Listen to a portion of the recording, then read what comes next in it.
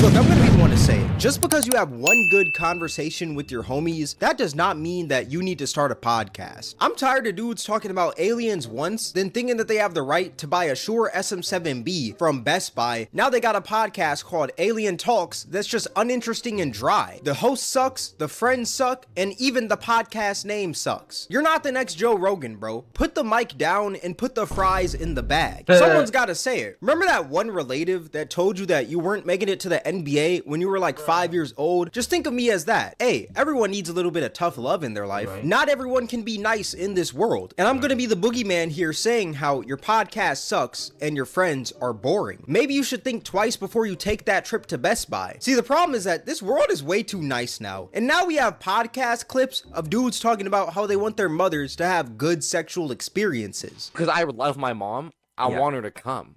I don't know if this is weird to say, but I want my mom to. Man, that shit, that's weird. I ain't gonna lie, I love to want to skip that. I'm gonna give you some tough love right here. You know, this is gonna be the toughest love that you've ever felt. This love is gonna be tougher than a well done steak. You need to stop podcasting, bro. I'm sorry. Never in my life have I ever thought about my mom having good sexual experiences. Y'all are just odd human beings. What even sparks this conversation? Like, how, how do you even get to this point? And why was this video even uploaded to the masses, bro? We need to start telling people no more often. You know what, man? I'm thinking about starting a podcast. No, bro, put the mic down. At this point, it needs to be easier to buy an RPG from a gun store than it is to buy a microphone from Best Buy. Because I promise you, if there were background checks for mics, we would be nowhere near this point. It feels like everyone has a podcast nowadays. And when I say everyone, I mean everyone. NBA players, rappers, children. The Hawk Tuah girl just started a podcast called Talk Tuah. Don't get me wrong, shout out to her for running up a bag off that one phrase, you know? I saw that she got 30k for popping out to a club a few weeks ago. Like, kudos to her, you know? I'ma clap it up for her. But why would I want to hear that woman speak for two hours straight each week about current events in her life? I mean, for crying out loud, she got famous for talking about how she spits on the pee-pee. Why am I supposed to care about what this woman has to say? Does she really need a podcast for saying hawk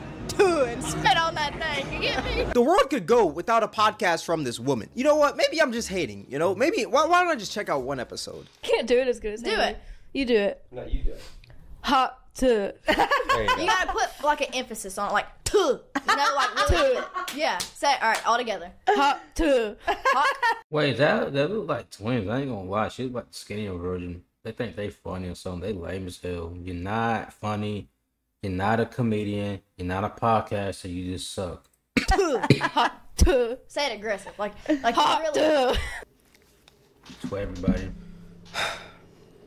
After watching one episode of the Talk Tuah podcast, I wanted to announce that I am quitting YouTube and becoming a full time neurosurgeon, astronaut, and monk, all because of this podcast. This is one of the most enlightening podcasts that I have ever watched, and I just wanted to say thank you, Hawk Tuah Girl, for opening my third eye and helping me evolve as a human being with your phenomenal podcast. I really appreciate you. All jokes aside, no hate to her, she's just capitalizing off her opportunity like any other human being would in her position. But overall, I just don't think there's anything really interesting about this woman that sets her apart from all these other podcasts out there. Yeah, she may be able to get some great guests on there because the podcast is connected to Betr, which is a sports media company co-owned by Jake Paul. But at the end of the day, like the guests can only carry her so far, you know? Like I said, there's not much interesting about this woman. She got famous for saying how she spits on the nutsack, you feel me? But like I said, she's just capitalizing off of a once in a lifetime opportunity. Podcasts, after all, aren't the hardest thing to do. Podcasting is one of those things that I believe is easy to start but hard to master. The bare minimum is to get a few mics, sit down with some friends, record, chat for a little bit, and boom, you got a podcast. Like it's not that hard. And if you already have an audience, it makes creating a podcast even easier. Because if the audience you've garnered cares to watch you for like maybe a few seconds or a few minutes each day, they'll for sure listen to you talk for about two hours each week. So it makes sense to why so many people are starting podcasts nowadays. But like the title says, not everyone needs one. While some of them are good, some just feel like people talking just to talk. Like I wouldn't even call some people's podcast a podcast. I'd rather call it mic terrorism. The other day, I saw a podcast clip of two dudes talking about lefty loosey, righty tighty being the greatest invention of all time. Lefty loosey, righty tighty is like the craziest invention of man. I use that all the time. The saying "lefty loosey, righty tighty. We just got a new machine. It's Okay. like it's it's called an articulating log loader.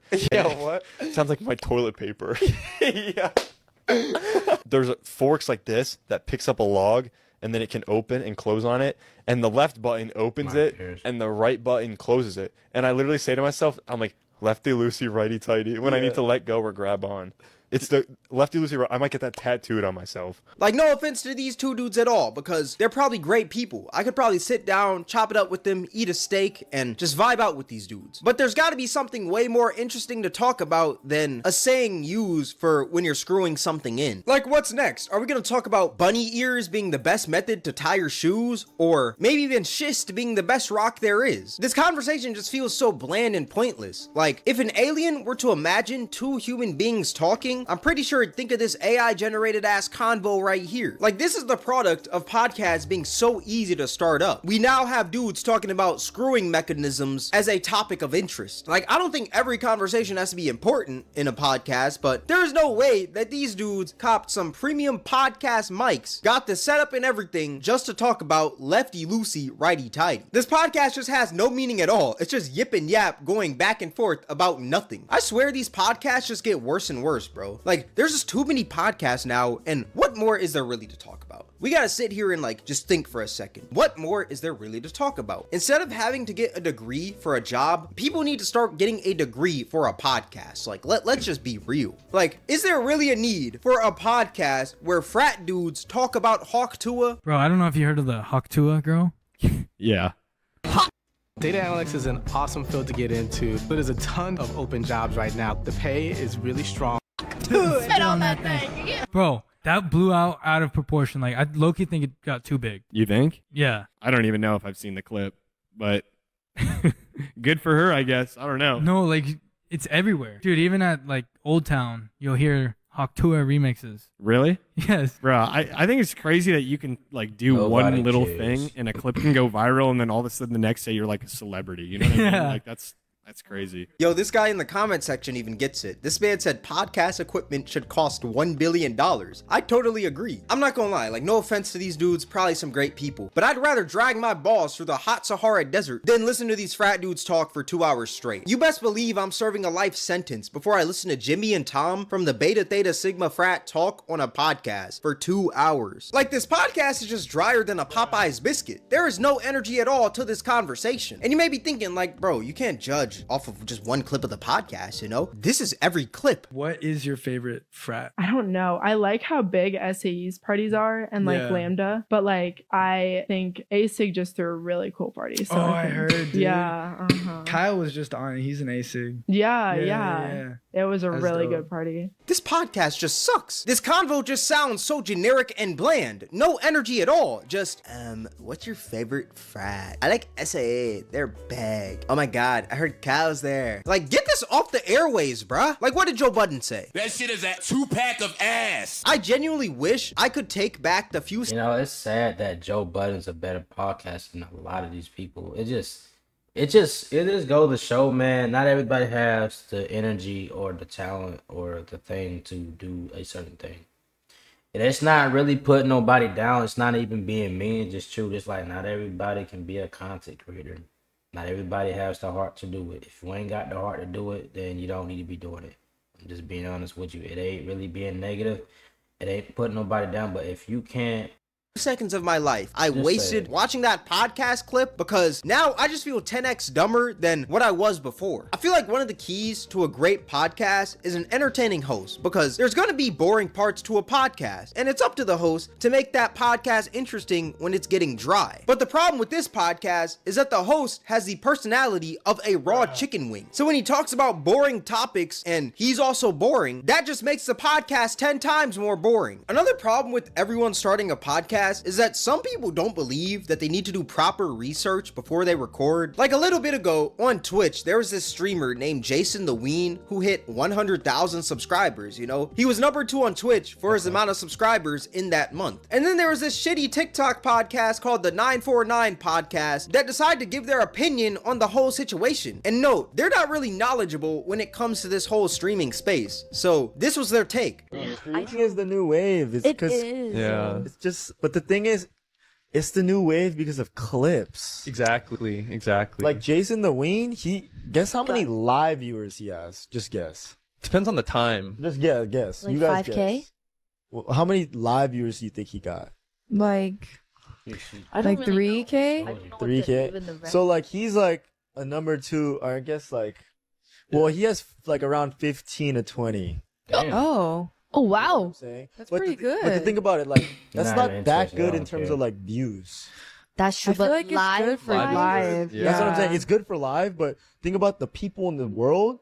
It's only 15k. 15K, yeah. So that's what I'm saying. Streaming is not like a mainstream thing Big, yet. big, it's only yeah. mainstream because of the clips that they put out after, Yeah, Mm. right. which get millions and millions of views. Right. Right. But no one's actually watching that shit This- live. yeah, yeah, yeah. No, literally, bro. There's a few things that piss me off about this Dookie TikTok podcast. Number one, this man is saying streaming is only big because of clips. Yeah, because nobody's gonna sit there and watch an eight hour stream front to back, you fucking idiot. So to make it more digestible for the average viewer, streamers and their audiences make clips so that more people can see their streams. What's so bad about that? Another thing this man says is 15k live viewers isn't good views because the clips get millions of views. That's how the internet works. And 15k is good because it puts him in the top 0.1% of streamers. Like why is it surprising that a live stream has less views than a TikTok video? Are we becoming this slow in society where we can't comprehend that a live stream that you have to watch live has less views than a video where you can watch whenever? This dude knows nothing about what he's talking about. He's just saying a hot take because he has a mic in his face with the cameras on. This podcast just sounds like one huge gossip session. That's the problem with a lot of these podcasts. Some of them are just gossip sessions. Another situation of a podcast host not knowing what they're talking about is this one right here. So a little bit ago, there's a situation with Kai Cenat, right? He had a cameraman that was talking to an underage girl, and this podcast decided to put out their take on it because hey, it was a fresh topic. Why don't we say something about it? You know, why don't we do it for the clicks and engagement? And this is what they had to say. Kai Cenat, everybody can't go. This is you the need to start part, looking around. And I know, like, black people specifically, when you get some success, you want to bring everybody with you. But you got to be able to kind of weed that shit out. I should have know who Chris V is. I should have know who Chris Next Door is. But Chris Next Door is literally an AMP member. What do you mean that you shouldn't know who he is? I should know who Kai Cenat is because you are the driving force in it. But them I shouldn't even know who they are. I think it's important to highlight that Chris Next Door is an AMP member. If you Right. guys don't know what AMP is, that is Kai Cenat's group. That's the problem. Kai Cenat shouldn't have a group. Kai Cenat joined the group before he became this huge mega streaming machine. This dude knows nothing about what he's talking about. He's just saying a hot take because he's on a podcast. That's how they got on. Yeah. Having a team and making it with your team is very important. But- But, but, if there are problematic people in there, kick them out immediately. But yes. you gotta know when you are the one, like he is the one. I get it. So he should abandon everybody. Yes. He did not do this alone. Like there was a journey of a camp of They them. came together. And I agree. Like this problematic person, this person that was underage girls, he has to go. He Yeah. like bye. We're never speaking to you. Cut ties. Now that we are here and it's the second, third, however many times something like this has happened, what does he do moving forward? Because now this, it can't keep happening. Mm-hmm. You have to insulate yourself because at the end of the day, that group doesn't mean anything without him. That is cap because everyone actually grew themselves before they were in AMP. That's why it worked so well as a group because everyone had their own platform before joining. Except for Chris. He kind of created his platform after, but he was still pretty known. But this guy just knows nothing about what he's talking about. And this is my problem with so many of these podcasts. Like, if you're gonna put out a statement on any current topic, you gotta do the research to back it up. You're gonna end up looking like an idiot. You can't just go in willy-nilly on something that you know nothing about. That's why a lot of bigger podcasts like Joe Rogan have someone who can fact check, which is Jamie on his podcast. And if you can't afford someone to be in that spot, you should just look it up yourself before you put out this idiotic take on something you know nothing about. Like there's a difference between a hot take and just a bad and uneducated take. And this right here is what I consider an uneducated take because he just lacks the knowledge on what he's talking about. I like how some people on the podcast are like trying to tell him like, yo, it's not like this. It's kind of like this, but he just doesn't want to listen. He just decides to be ignorant. I swear some people just get a mic in their face and their brains just go to mush. They don't know what they're talking about. I seen a dude the other day talking about how you need to stop wearing Nike socks with shoes for no reason at all, just because he said so. Stop wearing Nike socks with shoes, bro, or um a designer shoe. Even if you wear Nike socks with some Air Force Ones, just stop doing that, bro. I, I'm sorry, bro. I just can't see nobody wear no Nike socks with a pair of shoes, bro. Like, what are you doing?